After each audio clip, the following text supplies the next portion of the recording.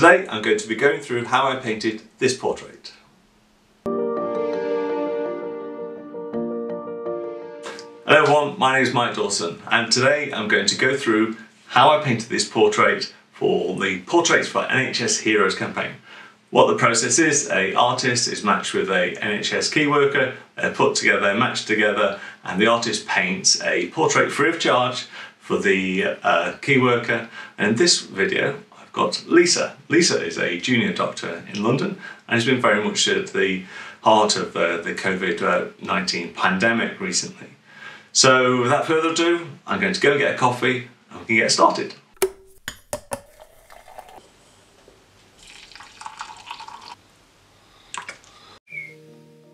So I started off by preparing the ground as normal uh, for these two paintings with uh, a yellow ochre kind of base, yellow ochre with a little bit of burnt umber actually, and Gamsol mixed together, thinly applied over the uh, canvas panel.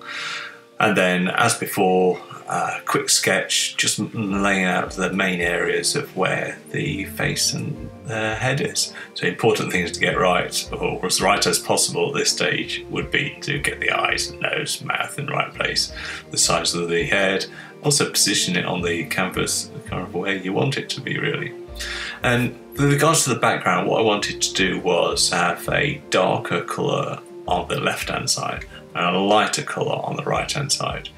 But even at this point, I'm thinking this probably isn't going to be the finished kind of background colour. I just wanted to create something fairly dark for this one to give some contrast and bring the uh, portrait further forward rather than the reference photo. As you can see, it's a fairly beige kind of background and uh, I didn't want Lisa to be swallowed up by the background.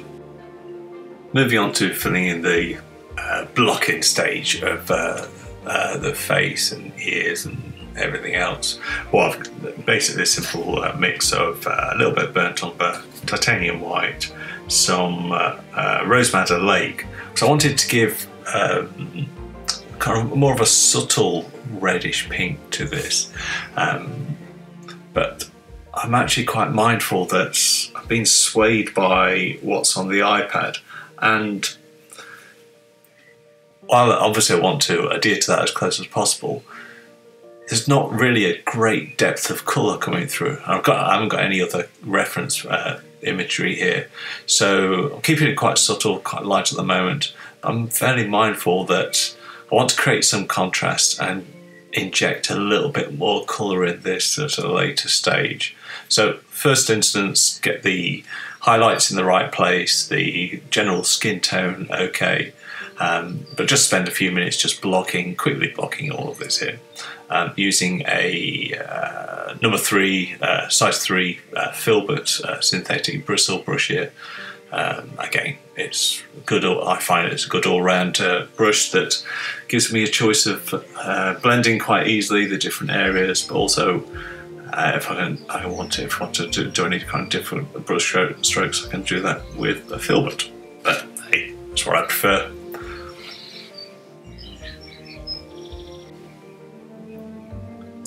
So moving on now, after I've filled in the main uh, flesh colour, just adding a little bit of the lips. Um, this is a slightly smaller, again, filbert brush, it's a, a size 2. Um, but what I'm kind of mindful of is to be careful with some of the brush strokes.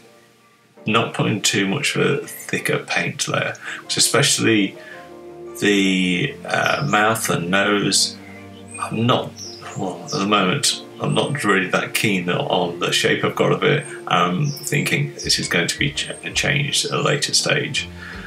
And I don't want to have any ripples or anything like that in the actual paint to be able to, to have to move around at a later date. So a little bit more rose madder lake for the lips, uh, titanium white, uh, a little bit of uh, ochre there just to take some of the red out of it.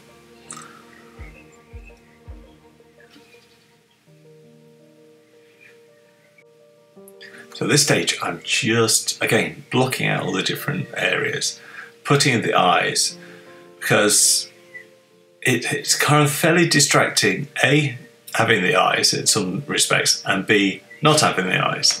So what I'm doing here is trying to make sure the eyes are both pointing in the right direction. Um, so blocking those in. Clearly, don't want to be doing any highlights or not too much highlights, but nothing to really distract the my gaze away from anything else at the moment. Um, but again, just blocking in the different areas, trying to make sure that the right size, right shape, and generally in the right place of the painting. Using a fairly small round to do this.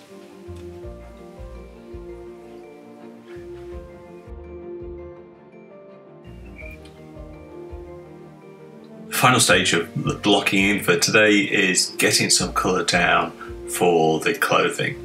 Um, for this, I'm going I've used just some cobalt blue with some titanium white. Uh, all of this stage is going to be mixed in with a fair amount of Liquin, Liquin Original. Um, not not too much, probably about a quarter, so 25% of uh, liquid to uh, paint.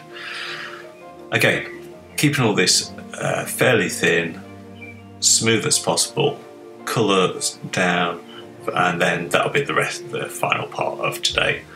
Leave it overnight and come back tomorrow just to see what it's like and do the next bit. Looking at it here, I can see that the mouth isn't quite right in the right place. Um, but that's something we can address in the next stage.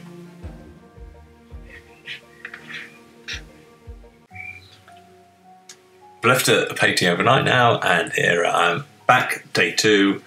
I've uh, gone over a little bit in places to add a little bit more contrast, uh, a bit of definition to the face here. Um, this isn't going to be the final thing. We're going to revisit that a little bit later after I've uh, done something to this background colour.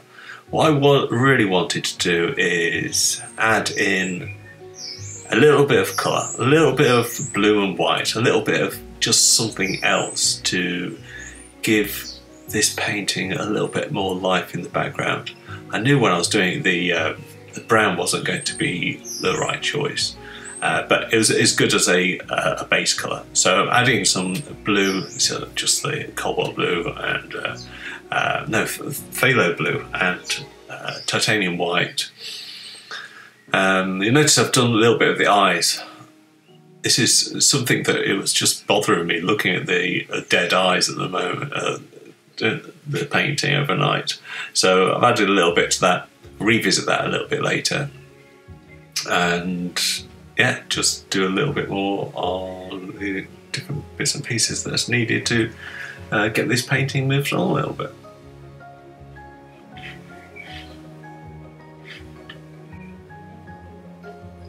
Now what I'm going to what I'm doing is I've added some other uh, colour highlights to the image, uh, given a bit of uh, blood flow through the actual cheeks and forehead and around the neck.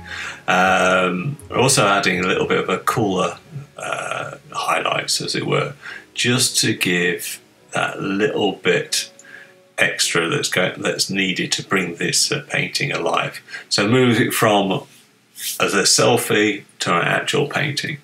Sure, the uh, the colours are looking a little bit extreme at the moment, but they'll come together. Just another hour or two working on this, and we'll get there. I'm fairly happy with the placement of everything at the moment. Still need to sort out uh, the right hand side of her mouth is not looking right. There's something going on with her lips, but we'll come back to that in a moment. Uh, looking at different ways, I'm always kind of mindful that I don't want to have a sharp edge to the side of her face because then it will, even though it's on the tone is similar in respect to the uh, face and the background colour. The colours are very different, and I don't want to have a real sharp edge to define that. So that's what I'm just blending in those kind of areas. adding in some colour to to on the hairline, so work out the hair later.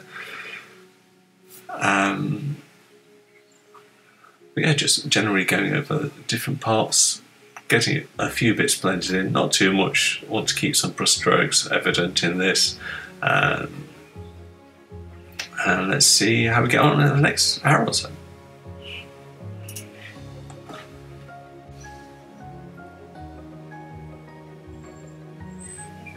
Now more work getting the the rest of the painting there, the kind of complementary but really very important part of what this is all about. The stethoscope, there's uh, the NHS lanyard, looks like a pager, and another thing with some uh, protective glasses on there as well. Um, okay, this really is what the painting is all about, and I don't want to spend too much, uh, go into too much detail, I should say, on these bits and pieces. Because I want the focus to be on the face. Um, but nonetheless, let's get this uh, blocked in, do all in uh, one pass. I might, may go back to do a few highlights a little bit later, but we'll generally get this done. I want to focus on getting uh, a better colour tone and some definition in the this pinky blue of the outfit as well though.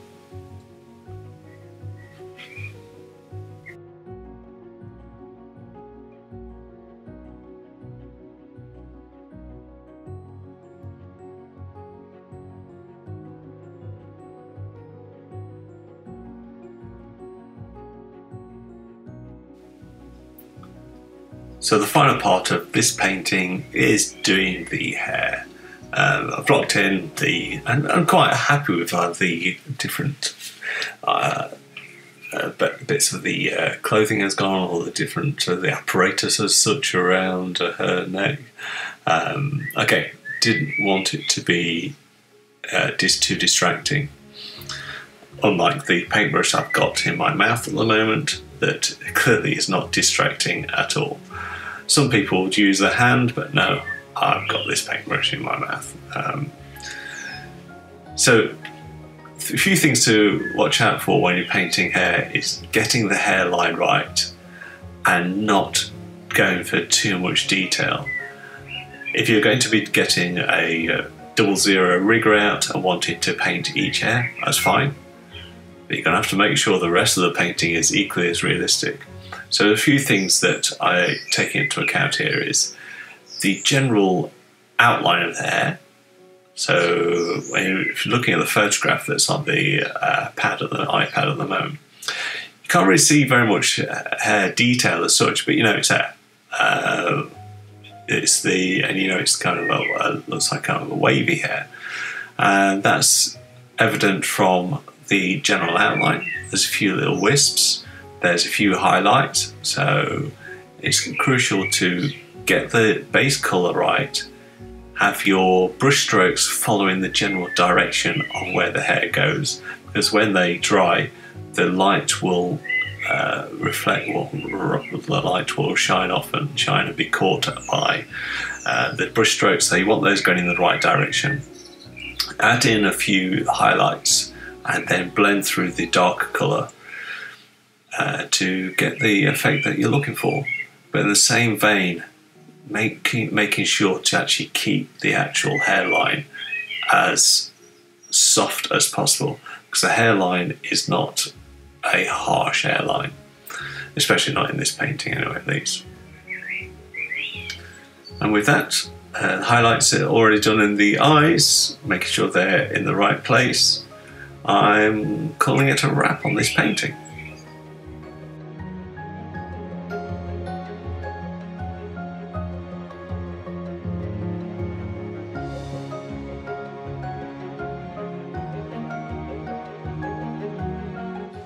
there you go, all finished. I hope you enjoyed watching this and uh, another sketch portrait done for the Portraits for NHS Heroes.